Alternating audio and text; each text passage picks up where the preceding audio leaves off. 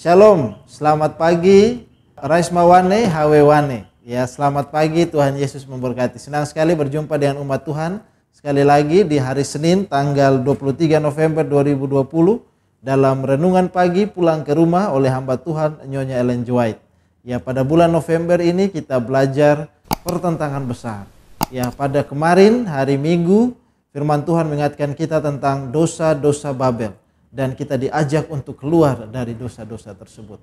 Pada pagi hari ini sebuah judul yang lain untuk membawa hati kita, pikiran kita dalam hari bekerja kita di hari Senin yang super sibuk ini. Ya, yang pastinya menyibukkan kita semua. Sebelum kita membaca sedikit dari firman Tuhan, mari kita berdoa sejenak. Bapak kami siap untuk mendengarkan sedikit dari firman-Mu. Kiranya itu menjadi berkat dalam kegiatan, aktivitas, terutama kerohanian kami hari ini. Di dalam nama Yesus hambamu berdoa. Amin. Para negarawan menang atas kebenaran. Apa maksudnya renungan pagi kita? Para negarawan menang atas kebenaran. Ayat renungan kita diambil dari Matius 10 ayat 18. Dan karena aku kamu akan digiring ke muka penguasa-penguasa dan raja-raja sebagai suatu kesaksian bagi mereka dan bagi orang-orang yang tidak mengenal Allah. Ya.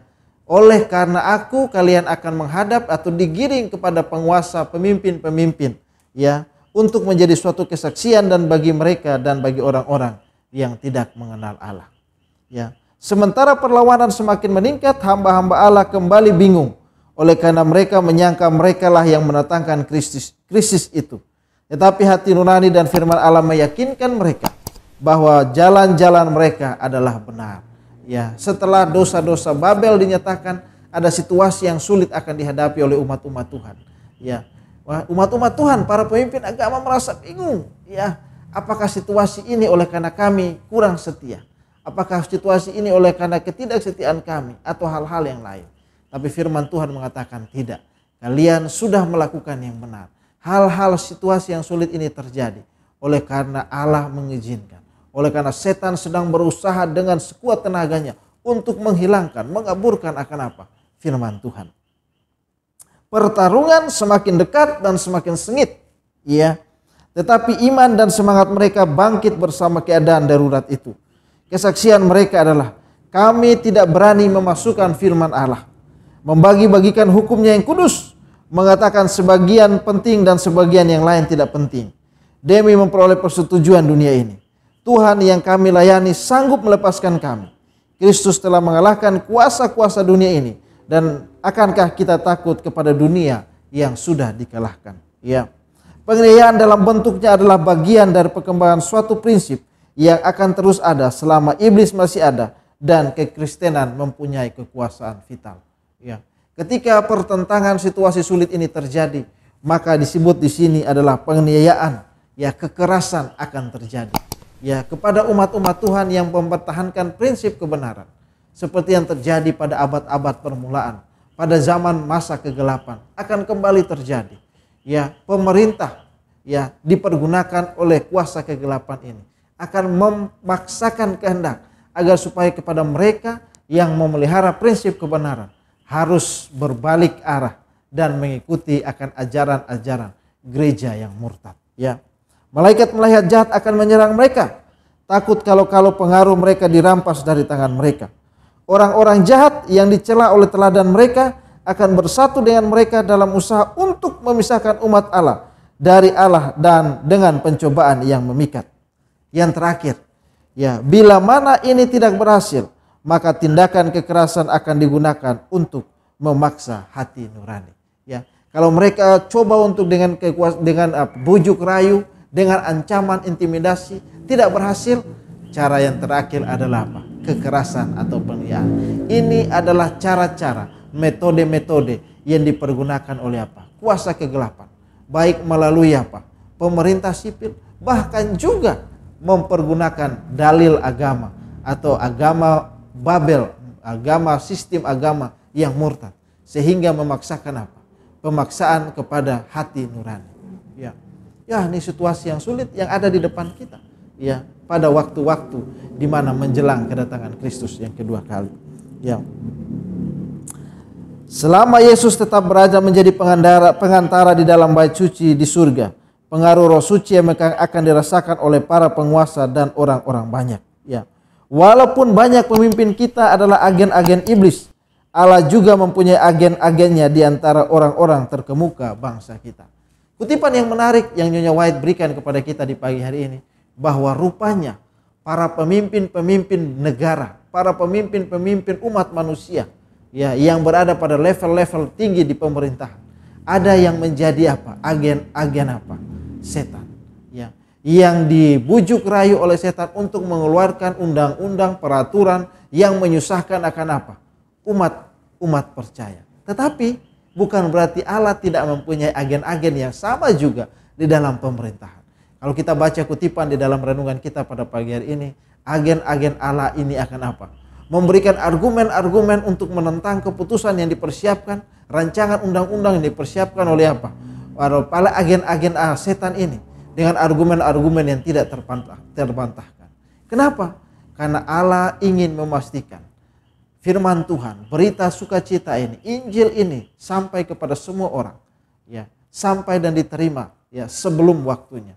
Itulah sebabnya agen-agen ini dipergunakan untuk menahan sementara kuasa kejahatan ini yang mengambil keputusan dan hal-hal yang lain. Lalu ya dikatakan ya perlawanan musuh-musuh kebenaran akan ditahan agar perkembaran malaikat yang ketiga dapat melaksanakan tugasnya.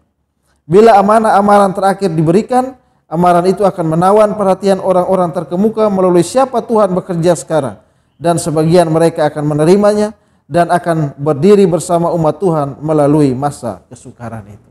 Kenapa agen-agen Ya, Tuhan atau agen-agen malaikat yang baik ini berdiri untuk menahan agen-agen yang jahat ini agar supaya pekabaran malaikat ketiga ini boleh sampai kepada ujung-ujung bumi. Lalu ketika pekabaran ini sampai, maka para apa? negarawan, para pemimpin yang menerima akan pekabaran ini akan berdiri bersama umat-umat Tuhan menghadapi akan situasi sulit yang ada di hadapan mereka sampai menjelang kedatangan apa? Kristus yang kedua kali.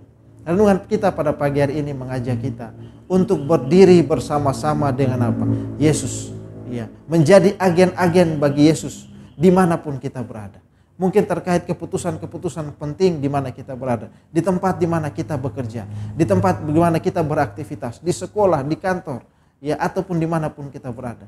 Jadilah agen-agen bagi Yesus yang membawa kabar-kabar yang baik yang memberikan kesempatan untuk firman Tuhan boleh masuk ke tempat di mana kita bekerja, kita beraktivitas sehingga mereka atau orang banyak boleh mengenal Kristus. Selagi apa? Selagi kita diberikan kesempatan. Selagi pekebaran malaikat ketiga ini akan terus menjadi berkat bagi umat Tuhan di mana pun mereka berada. Kenapa?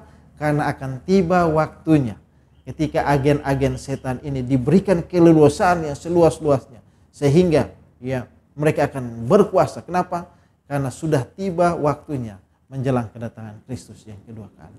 Oleh sebab itu umat Tuhan, walaupun ketika Anda menjadi agen-agen Kristus seperti yang tadi disampaikan, ada tantangan, penyayaan, kekerasan yang akan kita hadapi.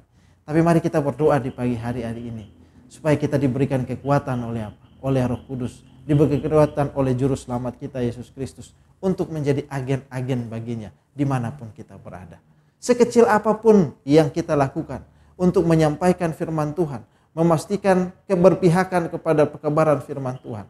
Kita menjadi agen-agen bagi apa? Pekerjaan pelayanan Kristus. Kiranya umat Tuhan di hari Senin yang super sibuk ini masih meluangkan waktu untuk menjadi agen-agen perubahan bagi pekebaran firman Tuhan di mana pun kita berada. Mintalah tuntunan Roh Kudus Bapak Ibu sekalian untuk menjadi penuntun bagi kita memastikan bahwa kita memiliki kesempatan untuk menceritakan tentang Yesus di hari bekerja kita ini. Kiranya tuntunan firman Tuhan menjadi bagian bagi kita. Kita pergi dan menjadi agen kebenaran bagi firman Tuhan di hari ini. Mari sebelum kita melangkahkan kaki kita keluar dari rumah, kita tundukkan kepala kita sekali lagi dan berdoa.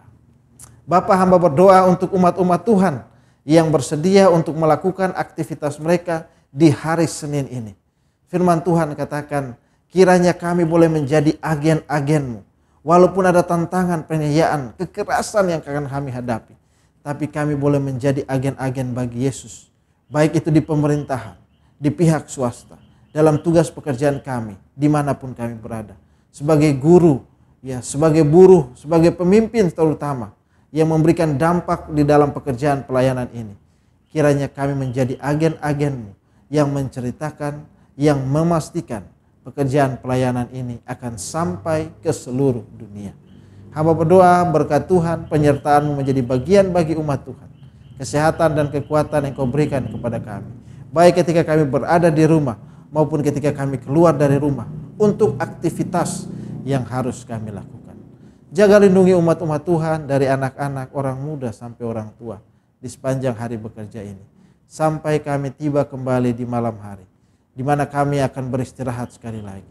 Berterima kasih untuk berkat dan penjagaan bagi umat-umat Tuhan dalam hari bekerja ini. Inilah doa dan harap kami ya Bapa, sempurnakan di dalam tangan kasih-Mu saja. Karena hambamu berdoa di dalam nama Yesus yang adalah Tuhan dan Juru Selamat kami. Amin. Sekali lagi saya ucapkan selamat pagi untuk kita semua. Selamat beraktivitas. Tuhan Yesus memberkati. Shalom, sampai berjumpa besok pagi.